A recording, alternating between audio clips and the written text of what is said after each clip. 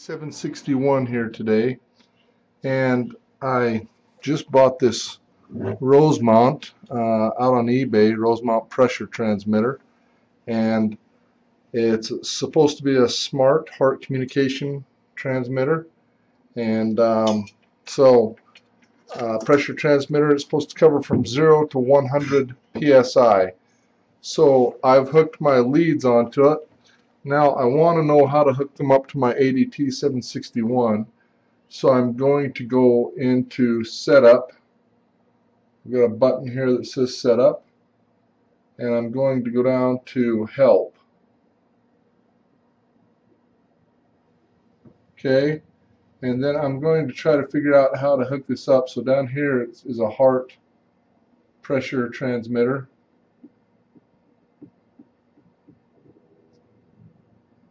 Okay, went a little too far. Okay, a HART pressure transmitter. So that tells me that I'm supposed to put my black lead into the top one here and my uh, red lead, my hot lead into the bottom one here. So I'm going to go ahead and plug those in and I'll escape out of here now and it looks like we are indeed reading so we're at uh, basically at zero I'm going to go ahead and vent my vent my unit so that it goes down to zero. It will turn green when it's stable. And uh, so I'm reading my pressure here my source for my calibrator and I'm reading my Rosemount transmitter HART transmitter up here. And it doesn't look like that's uh, We'll try venting one more time and see if that stabilizes. At zero. There we go. Alright so we're at zero and it looks like we're very close to 4. So we're ready to go ahead and, and do a calibration on this transmitter. So let's go into task and then we'll scroll over and choose pressure transmitter. I'll hit enter and we could choose from a task that we've already set up. This is for a 0 to 160 psi so 4 to 20 milliamp output that would not work. This is for a 0 to 40 kilopascal output uh, range. So that would not work. So let's do a new task. So I'll hit enter there. And uh, let's let's name it uh, let's delete that task number six. Let's make it task number one okay? And once I've done that how many cycles do we want to do? Well let's just do one. Let's do a range of 0 to 100 and then let's change from kilopascals to psi so I've changed it to PSI. Accuracy, we can choose our accuracies or we can enter a custom accuracy. I'm not sure what the accuracy on this uh, gauge is. I'm going to say 0.1%. It's probably not that good, but let's say 0.1 to see if we can calibrate that tight. Let's do three points. And if we want to see the point list that it chose, or if we want to put in our own point list, we can. So I can change those here. It just shows a zero span and a midpoint, so 0, 50, and 100 psi. I can scroll through and change any of those that I want, but I'm just going to leave it for now. Okay, so I'm going to hit save there. And uh, are we going to do uh, HART communication, 4 to 12 milli milliamps, 0 to 10 volts. There's all these different choices of here of what we want to, how we want to do this cal, but I'm going to choose HART communication and then I can do a linear output or a square root output. I'm going to choose a linear output, okay? And then we're going to save that. It says save and exit. I'll hit enter for yes. Okay, so it's ready to go. Uh, we've got a 0 to 100 psi, 0.1% accuracy, and I'm going to go ahead and hit run. It wants to know the date, it wants to know the current temperature and the current humidity in my lab. That's so that we can put that on the calibration certificate later. So I'm going to hit enter I could have changed this if I wanted. It says, do you want to start pulling for a HART device? I'll say enter or yes. Use the internal 24 volt loop power to power it. Since I don't have it in place, I've pulled it from whatever it was being used in. I'm going to say yes, I want to use the internal 24 volt loop power of the calibrator. So it's going out looking for the unit now. It looks like it's found it and it's reading it. And it came back and said we've got a Rosemount 3051C. Um, it's got a tag number. Uh, it's reading its pressure right now and uh, it's telling me what its low end value is and its high end value. So um, I'm going to go ahead and select that unit. Okay. Now it's going to ask me um, what HART press process I want to use. I'm going to do a loop calibration. So um, it wants to know if I want to manually have it enter the values or if it wants to go in auto. So I'm just going to hit auto. I want to run this in auto. It wants to know how long I want to wait after it has stabilized to take a reading. So I'll say let's wait for three seconds. Then it also wants to wait, say how long after it gets to the top and is done taking its readings do I want to wait before it comes back down and checks the hysteresis of the transmitter. So I'll wait, tell it to wait at the top for 10 seconds. Hit enter. Alright, it is ready to go, so it's waiting for it to stabilize. Once it turns green here, that means it's stabilized.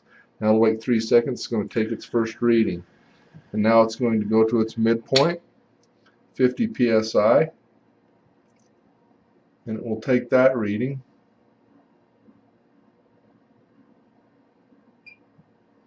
Alright, it's stable, going to wait 3 seconds, take the reading, go to the next point.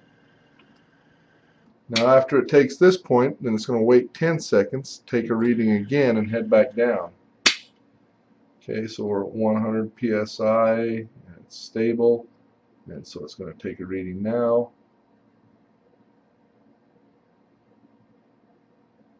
And it's waiting 10 seconds to take another reading on the descent.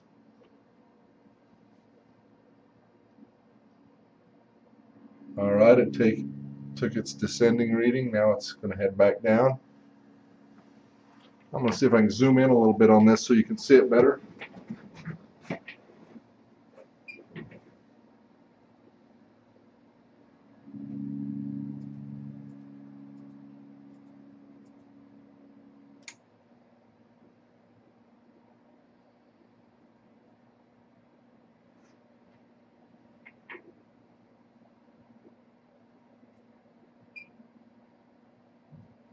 Okay, it said it is done. So hit any key to to uh, go on, and then if I hit the next button here, it gives me my data. So we passed at zero psi, but we failed at the midpoint because it's in red. You probably can't see that because it's very small. And then we failed at the 100 psi at the high point as well. And so let's do our choose HART service here and let's do a PV trim. I want to do, let's do um, just the high point because the low value was just fine. So it says both, but I'm going to choose only the upper value. And then let's go to 100 PSI and hit enter and next. Okay, so it's going to run it up to 100 PSI. It's running it to 100 psi here. And it's going to see what the milliamp output is. And it's 20.162 and so it's going to make an adjustment when I hit when I hit stop this now. So it's it's green so I know it's ready to go so I'm going to hit stop. It says are you sure you wish to update calibration data? I'm going to hit yes. So it is retrimming that now now let's now let's escape out of there. Let's restart the test. It says you'll all new results will erase previous results. Restart now. Yes. Wants to know the date and time again, humidity, loop again, and auto.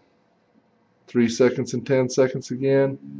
And away it goes. Now let's see with our adjustment if we brought it within spec. I'm going to try to get this even closer. Maybe you can see better. Oh.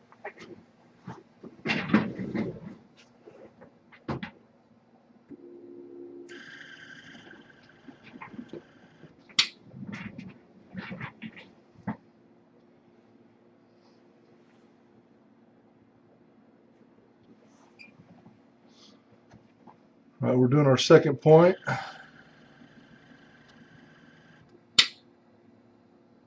That looks very close. Nineteen point nine. That's also very close. I think we're going to pass this time.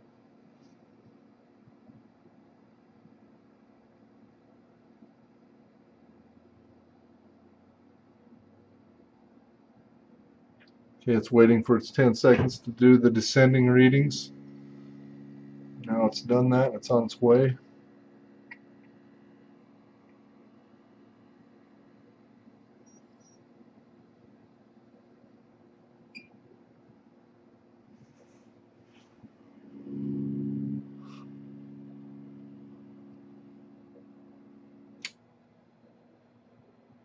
This is pretty nice. I'm not having to do anything but watch, basically. Okay, it's taking its final point. It says it's done. Let's hit enter. Next. And sure enough, we did pass. It did not highlight any of these in red this time. So just so I, I'm, I'm guessing you can't see this, set point is 0, 50, and 100 psi. Expected milliamp output 4 milliamps, 12 milliamps, 20 milliamps. Uh, loop milliamps actually read on the ascending 3.9986, 11.9984, 19.9981. On the descending 3.9986, so it exactly matched. Uh, descending 11.9985, it was a difference of 0.0001. Descending of 19.9978, a difference of 0.0007 or sorry 3. Indicator error 0.0014, 0.0016, and 0.0022. If I hit the next page, it gives me my indicator error tolerance of 0.016 and max of 0.0022. So it was within spec. Hysteresis error of 0.016 is the tolerance, and we were at 0.0003, so well within tolerance there. Now, if I wanted to hook up my computer to the to the uh, RS-232, I would get out my RS-232 to USB cable. I would download that task to my computer and save the data in an Excel spreadsheet. And uh, I could also upload a new task if I wanted to to start a different uh, different uh, calibration. Or I can save uh, several tasks on here if I prefer to do it just on here. And uh, that's pretty much it. Next page and shows us our data again. You can escape out of there and uh, start a new test or or just finish for the day. That's it.